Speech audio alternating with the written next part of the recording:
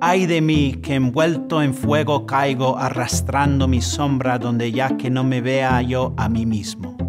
Pedro Calderón de la Barca, el gran teatro del mundo. Hola amigos, bienvenidos de nuevo. Tras la partida de Don Quijote y Sancho Panza, el capítulo 15 revela que Carrasco ha conspirado con el cura y el barbero para reducir a Don Quijote a que estuviese en su casa quieto y sosegado. El verbo reducir de nuevo, que Sancho ya ha usado con respecto a Teresa, alude a la Inquisición. También significa persuadir o convertir, es decir, alejar a los pecadores de la herejía. En consecuencia, Don Quijote no es solo un hombre loco, sino un apóstata. En cualquier caso, el plan era dejar que Don Quijote se dedicara a la aventura y después que Carrasco lo venciera en combate y lo obligara a quedarse en casa por dos años. Su escudero sería Tomé Cecial, a quien el narrador describe como compadre y vecino de Sancho Panza.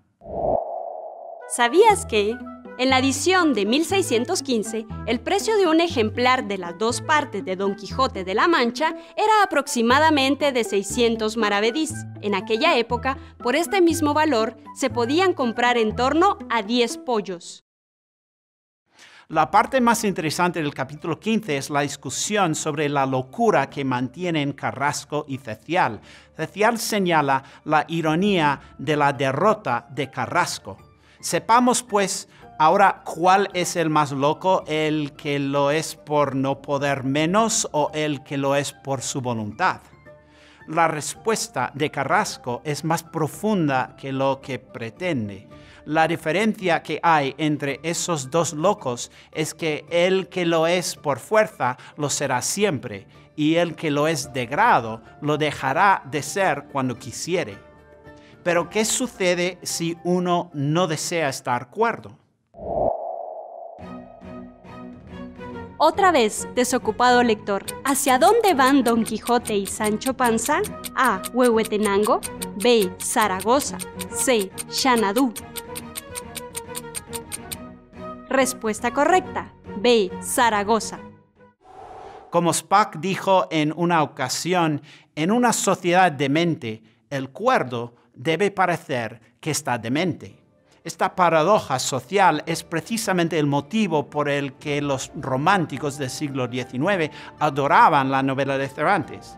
Pero la frase no es solo filosóficamente traumática y reflexiva, similar a la historia de El Loco de Sevilla, narrado por el barbero, también anticipa el resto de la novela, en la que Don Quijote recupera gradualmente su cordura.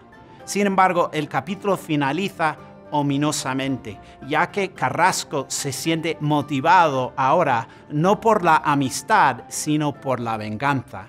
Y él quedó imaginando su venganza. Eso es todo por ahora amigos, nos veremos en el siguiente vídeo. Para inscribirte al curso, haz clic en el libro. Para suscribirte al canal de YouTube, haz clic en Don Quijote. Para ver más vídeos, haz clic en Dulcinea y síguenos en nuestras redes sociales haciendo clic en Sancho Panza.